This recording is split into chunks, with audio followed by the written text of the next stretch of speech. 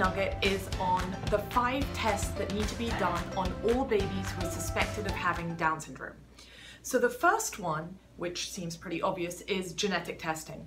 So the physical exam for babies with Down syndrome is very sensitive. Most people can pretty much look at an infant, most people that work in the NICU, and be able to tell very quickly whether a baby has Down syndrome or not. But we would like confirmation. A FISH study, which is fluorescent in situ hybridization, I said it, is a genetic test which is great in that it can come back pretty quickly, normally within two to three days. But what's not good about the FISH is that it won't tell you what type of trisomy 21 it is. It will just tell you whether there is a little bit of extra chromosome 21 or not. What it won't tell you is whether there's a translocation or not. So to see if there's a translocation or not, you have to send the routine chromosomes, the ones that we kind of used to cut out in high school and align all next to each other because it's important to know whether there is a translocation or not because that's an inherited type of Down syndrome. So in about 3% of cases of all patients with Down syndrome will have a translocation and about a quarter of those three, less than 1 to 1% of those babies will have inherited the Down syndrome from their parents who are carriers. So all babies with Down syndrome should have some sort of chromosomal testing. The second test that needs to be done is an ultrasound of the heart, also called an echocardiogram, also called an echo. So this needs to be done whether a prenatal echo was done or not. About 50% of babies with Down syndrome will have a cardiac defect. Most of the time, this is an endocardial cushion defect, which is basically holes between the atria, the two smaller chambers, or holes um, between the two larger chambers, which are the ventricles, or just like a hole all the way down the middle of the heart. Most of these will end up needing surgery, but they do need some sort of medical treatment beforehand. So every single baby suspected of having Down syndrome or with Down syndrome needs an echo of the heart within the first few days of life. The third test is a complete blood count. So babies with Down syndrome have increased risk of having thrombocytopenia, low platelets, um, as well as polycythemia, which is an increased red blood count. But the real reason why we have to follow a CBC is because we're worried about a leukemoid reaction or transient myeloproliferative disorder. And that is where the WBCs, the leukocytes, can suddenly jump up. We're talking 50, 70, 90,000 WBC count here.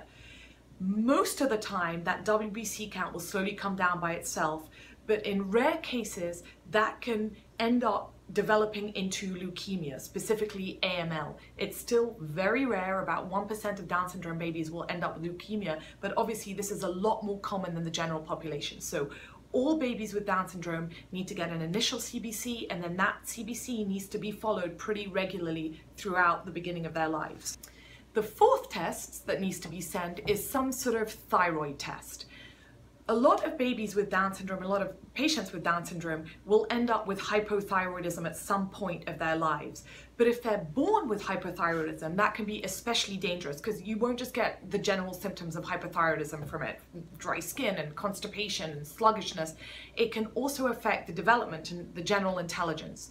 So all babies with Down syndrome who are at increased risk of having congenital hypothyroidism need to have their thyroid levels checked all newborn screens check for hypothyroidism, but a lot of them only check the T4, the actual thyroxine level.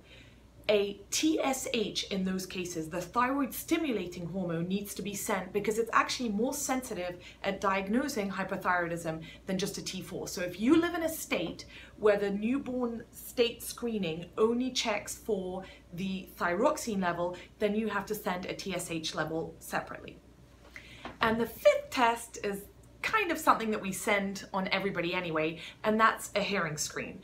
Babies with Down syndrome, kids with Down syndrome, can have very, very small auditory canals. So their ear canals are very, very small, and they're at increased risk of developing hearing loss at some point of their lives. And so this has to be followed very carefully um, and actually needs to be followed by a pediatric ENT as they get older.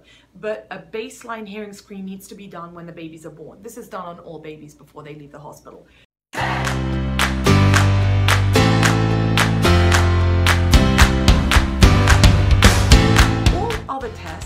That need to be done on Down syndrome kids depend on symptoms. So those five routinely need to be done on every baby with Down syndrome. I hope that you learned something today. Please remember to subscribe and comment on any more topics that you'd like us to talk about. Thank you.